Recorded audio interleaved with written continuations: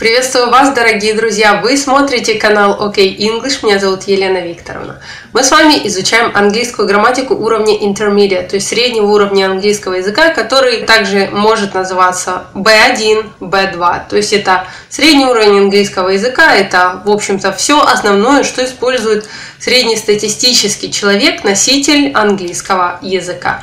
Мы с вами работаем над юнитом под номером 105 и говорим о сравнительной степени прилагательных. На английском она называется comparative adjectives, то есть сравнительные прилагательные, если переводить дословно. Что значит сравнительные прилагательные? В самом названии, конечно, кроется ответ. Если вы что-то сравниваете, причем сравниваете две какие-то альтернативы, то вы говорите, что эта машина, например, хуже, чем другая, а другая машина лучше, чем первая, да?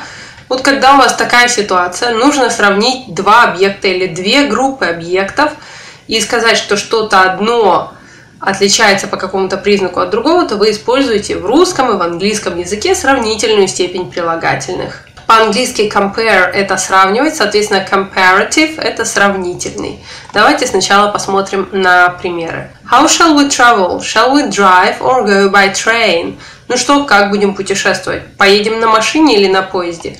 Let's drive. It's cheaper. Don't go by train. It's more expensive. Давай поедем на машине, это дешевле. Давай не будем ехать на поезде, он дороже или более дорогой. Мы видим здесь слова cheaper и more expensive, которые являются примерами сравнительной степени прилагательных. В первом случае для того, чтобы дать прилагательное в сравнительной степени, мы использовали суффикс er, слово cheap превратилось в его вариант cheaper. Во втором примере мы со словом expensive ничего не делали, мы лишь использовали дополнительное слово more, и вся связка more expensive стала переводиться в русском языке одним словом – дороже. Хотя можно переводить и двумя – более дорогой. Также, друзья мои, очень часто, когда мы сравниваем две альтернативы, мы используем в нашей конструкции в предложении слово then, которое в русском языке соответствует слову чем. Например, it's cheaper to drive than go by train. Дешевле ехать на машине, чем ехать на поезде. Чем – это then в английском языке. Заметьте, здесь используется в написании буква A, а не буква I. Если вы напишете then с буквой I, это будет совсем другое слово, но эту ошибку очень часто делают. Going by train is more expensive than driving. Поездка на поезде более дорогая, чем поездка на машине. More expensive than – более дорогой, чем. Или можно было перевести по-другому. Поездка на поезде дороже, чем поездка на машине. То есть в русском языке у нас есть варианты, мы можем переводить по-разному. Также, кстати, бывает в английском языке. Иногда для одного и того же слова используются сразу два возможных варианта образования сравнительной степени. Можно использовать суффикс er, можно использовать слово more. Теперь давайте же все-таки разберемся в самом базовом правиле, что же нужно сделать, чтобы прилагательное поставить сравнительную степень. Если у нас коротенькое слово, друзья мои, маленькое, которое имеет один слог, то с ним все очень просто. Добавляйте суффикс er в конце – и вы получаете сравнительную степень, например, cheap – чипа, дешевый – дешевле, large – larger, большой – больше. В английском языке слово large, хотя имеет две гласные, но вторая и она немая, поэтому она, можно сказать, слога не образовывает. В отличие от русского языка, где у нас сколько гласных, столько и слогов. Если вы слышите, что в слове один слог large, да, то это односложное слово. Значит, с ним мы будем использовать суффикс er, larger. Fast, faster, быстрый, быстрее. Thin, thinner, худой, более худой. Но также, друзья мои, иногда с двухсложными прилагательными также может использоваться суффикс er. Это касается обычно прилагательных, которые заканчиваются на y. Например, lucky, luckier.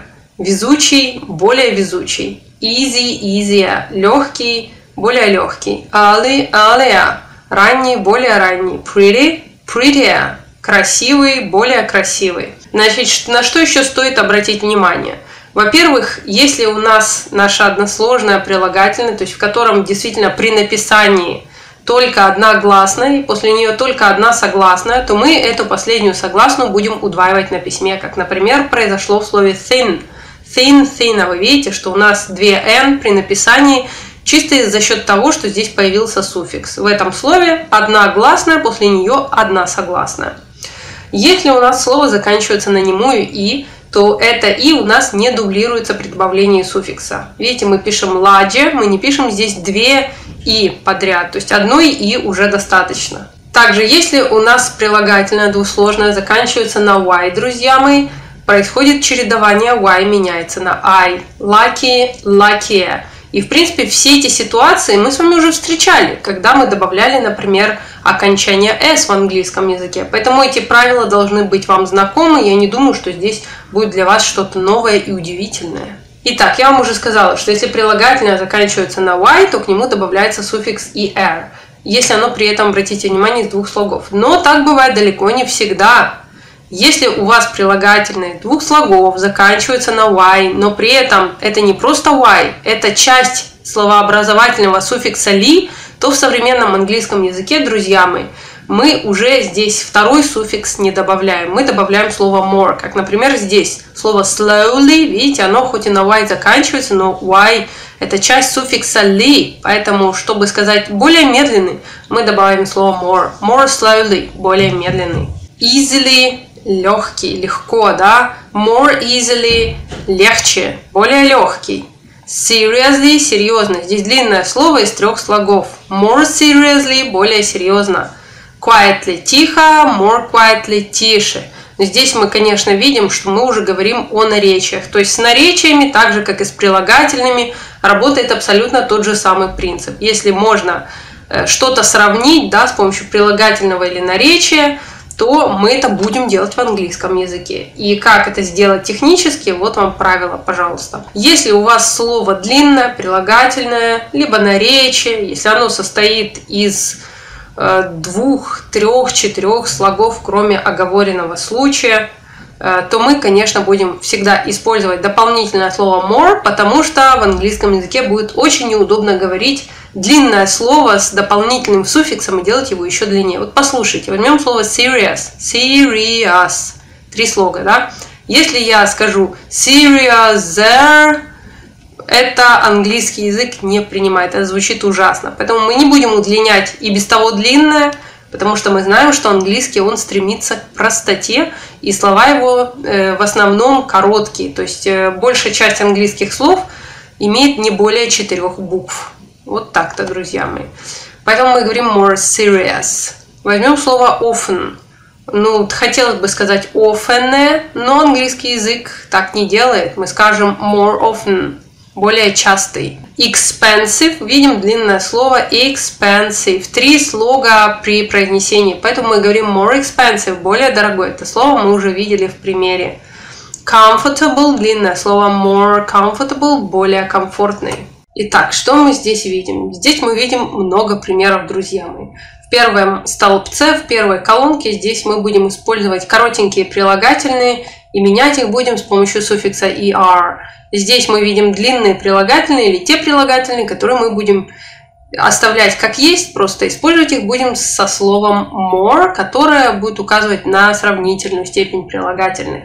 Смотрим. You're older than me. Ты старше, чем я older than me, старше, чем я. Не просто взрослый old, а взрослее, старше older. И видим слово than. You're more patient than me. Ты более терпеливый, чем я. Слово patient – это то слово, с которым мы образовываем сравнительную степень э, благодаря дополнительному слову more. More patient, более терпеливый. Неудобно говорить patient в английском языке. Это уже даже как-то звучит и не по-английски. Поэтому не надо так делать. Э, следующая группа примеров. The exam was quite easy. Easier than I expected. Экзамен был довольно-таки легкий. Легче, чем я ожидал. Easier than. Легче, чем. Мы видим, мы снова сравниваем две а, альтернативы. Значит, экзамен был легкий, и против другой альтернативы я ожидал, что экзамен будет тяжелый. Здесь, конечно, альтернатива не так ярко выражена, как, например, в первом примере «ты», «я», мы сравниваем двух людей, ты и я, тебя и меня. Да?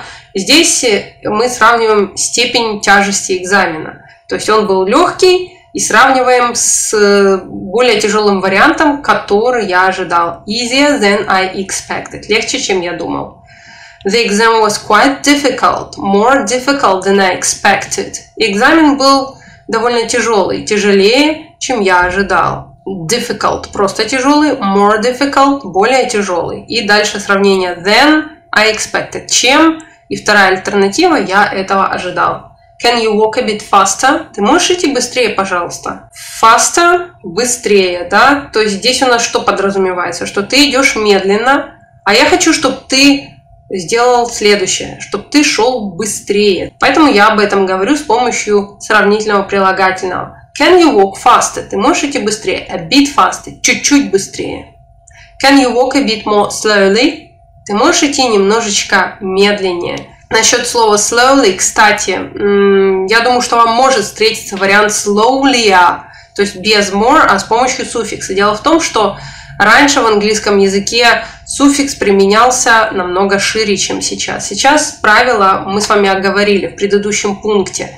Поэтому старайтесь следовать современному правилу. Но если вам вдруг попадется вариант, например, slowly, не удивляйтесь, друзья. Такой вариант, в общем-то, до сих пор допустим, просто скажем так, постепенно он выходит из обихода. Итак, ты можешь идти медленнее. То есть первая альтернатива. Ты идешь быстро, и я тебя прошу перейти в другое состояние. Тебя прошу идти more slowly, медленнее, более медленно. I'd like to have a bigger car. Я бы хотела иметь большую машину. То есть сейчас у меня есть какая-то машина, я хочу вторую, вторую альтернативу. Я хочу большую машину, a bigger car, то есть альтернатива здесь подразумевается, она не указывается напрямую.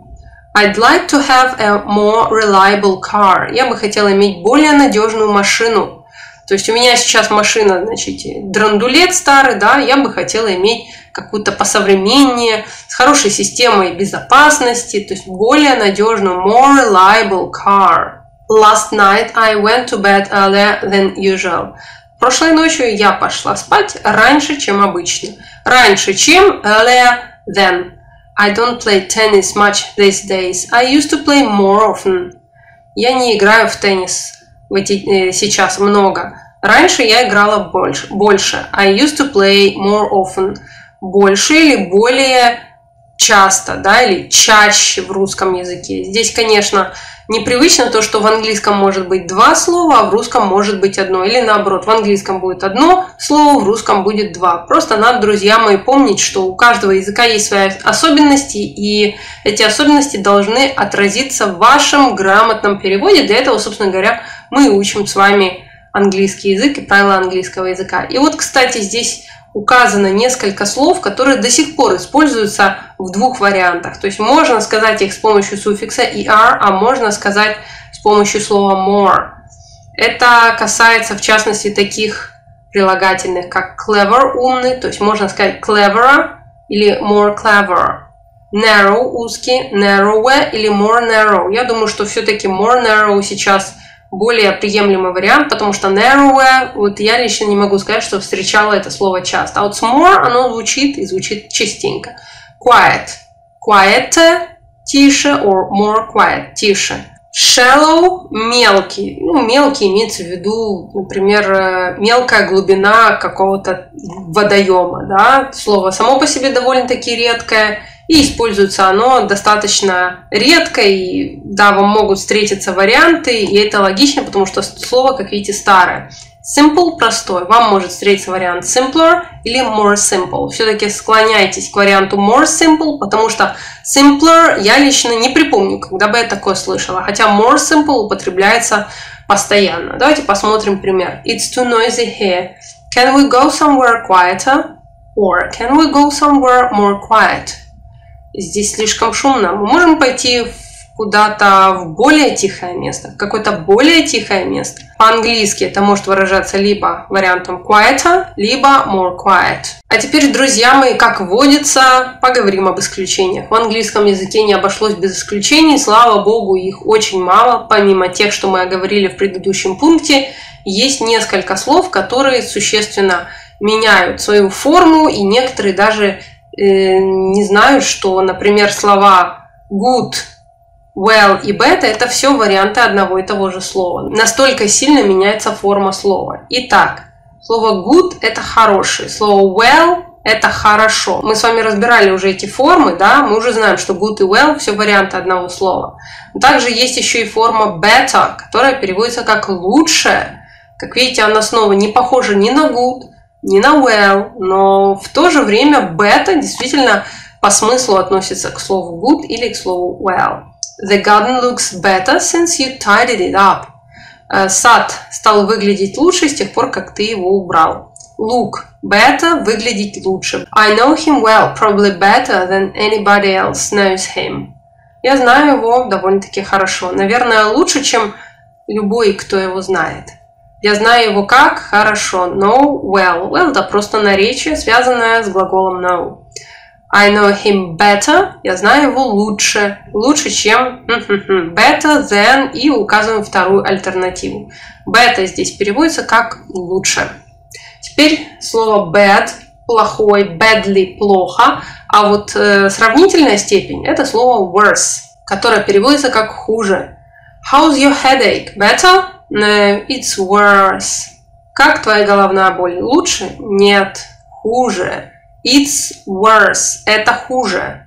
Worse в данном случае выступает грамматически как прилагательное. He did very badly in the exam. Worse than expected. Он ужасно показал себя на экзамене, хуже, чем ожидалось. Worse переводится как хуже. Также, друзья мои, мы чуть-чуть дальше будем с вами проходить и превосходную степень прилагательных. И вот все эти исключения, они, естественно, будут отражаться и в превосходной степени. Я вам просто наперед сразу скажу, что good, better и третья форма the best. Bad, worst, третья форма the worst. Far, further, the farthest – и слово far переводится как далеко. Further – это дальше. Хотя может использоваться и вариант father. Самое главное, не забудьте здесь о букве R, чтобы это слово не превратилось в слово отец в английском языке. Произносятся, кстати, они одинаково. Итак, further, либо вариант father – это дальше, чем. It's a long walk from here to the park, further than I thought. Отсюда до парка идти очень далеко, дальше, чем я ожидал. Further than I expected, дальше чем. То есть, видим, опять сравниваем две альтернативы. Э, дорога долгая, а я ожидал, что она не будет такой долгой, да, и мы их сравниваем с помощью слова further. Further, кстати, именно такой вариант, не фаза, может обозначать более или что-то дополнительное. Ну, имеется в виду какая-то дополнительная информация, более расширенный вариант информации. Например, let me know if you hear any further news. Сообщи мне, если ты услышишь дальнейшие новости. Further news, то есть больше новостей, новые новости, если можно так сказать. Эти слова, друзья мои, я вам предлагаю запомнить, а также о дополнительных способах и популярных вариантов того, когда же используется сравнительная степень прилагательных, мы с вами поговорим в следующем уроке. Если этот урок вам понравился, друзья мои, обязательно жмите кнопочку «Мне нравится», делитесь этим уроком с друзьями и знакомыми, а также приглашаю вас на сайт oktest.ru, где вы сможете прямо в режиме онлайн проверить, насколько хорошо вы закрепили материал. И, кстати, вы там сможете материал и закрепить. Давайте перейдем на этот сайт. Как видите, здесь у нас есть более тысячи английских упражнений по разным разделам Murphy. Также добавляем сейчас раздел Listening Skills, где вы сможете потренировать свое понимание английского на слух. Открываем Unit 105, вот он находится в разделе English Grammar and Use. Здесь у нас есть повторения, все правила вы можете, если вы ведете тетрадь, выписать их куда-нибудь себе. И, значит, смотрим задание 1. Что у нас здесь интересного? Надо выбрать правильную степень сравнения, да, правильную форму. It's too noisy here. Can we go somewhere quiet, да? Давайте проверим вариант правильный. Хотя мы, кстати, с вами знаем, что здесь доступен и второй вариант more quiet. Я вас предупреждаю, друзья мои, чтобы вы, опережая, вернее, а, ваши вопросы, иногда действительно может подойти несколько вариантов, друзья мои. Но в тестах можно вставить только один вариант. Поэтому, если не подходит один, попробуйте другой. Просто помните, что да, на одну и ту же ситуацию бывает в английском языке сразу несколько вариантов использования, в принципе, как и в русском языке. Ну что ж, а на этом, думаю, можно окончательно закончить наш урок. Всего вам самого лучшего, успехов вам в изучении английского языка и до скорой встречи в новых уроках. Bye-bye!